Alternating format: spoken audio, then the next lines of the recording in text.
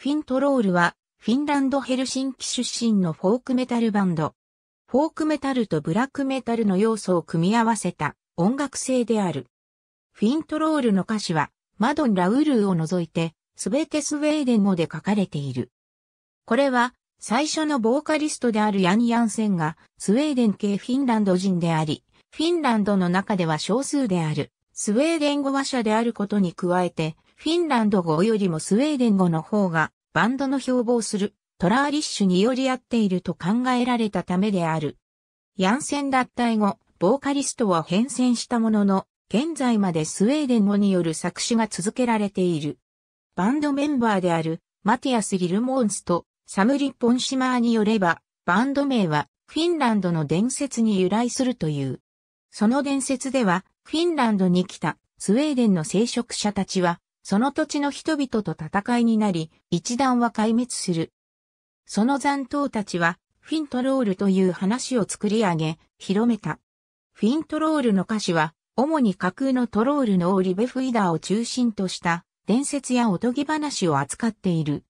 このトロールたちは、彼らの土地に入り込みキリスト教の布教を行う、キリスト教徒たちと戦っている。この階層的テーマは、アムーンドとケトルと名付けられた二人の聖職者の物語である。最初の三枚のアルバムの楽曲は、やや短めであるが、この二人が徐々にトロールたちとの争いに巻き込まれ、奮闘するリベフイガーの手下たちに次々に打ち負かされ、ボロボロになっていく様を激しい楽曲で表現している。2013年現在、6枚のフルアルバムと3枚の EP をリリースしている。1997年にテーム・ライモランタとヤン・ヤンセンを中心に結成。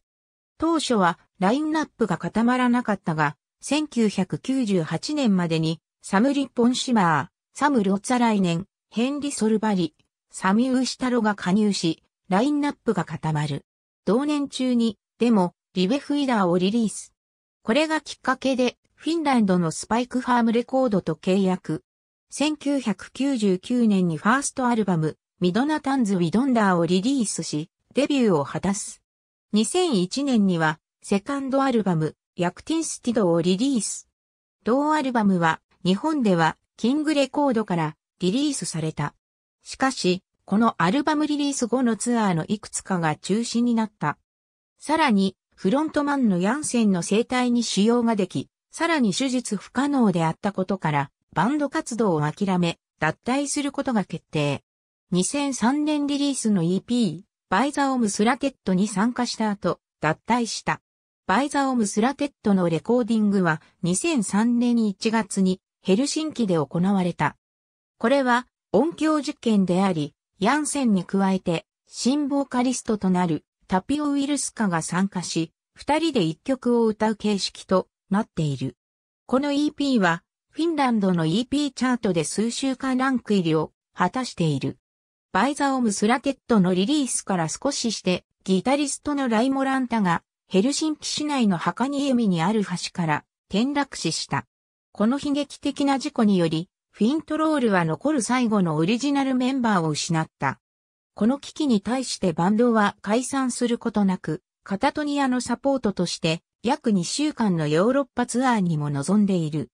この際、ライモランタに代わるギタリストとしてミカエル・カールボンが加入している。2004年に EP トロール・ハマレンとサードアルバムナットフットをリリース。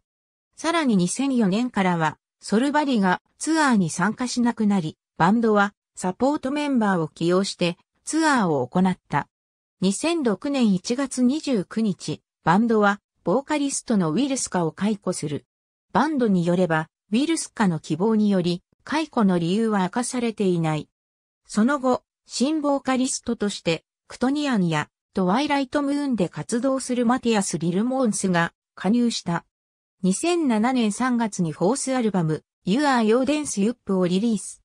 同アルバムではメロディックなギターリフに加えて壮大なキーボードのリフに重点が置かれている。同アルバムでは元ボーカリストのヤン・ヤンセンが作詞を担当し、以後も作詞を担当することとなる。同アルバムにはトロールバゼンと題された隠しトラックが収録されている。この楽曲は一般的にアムーンド・オケトルソングの一部であると考えられている。歌詞がないにもかかわらず、この曲は一般的にでクリストナをより反映している。5月にはストラトバリウスのオープニングアクトとして初来日を果たす。さらに初のライブ DVD をリリースが決まる。しかし、そのリリース日は未だに決定していない。フィフスアルバム、ニーフェルビンドを作成。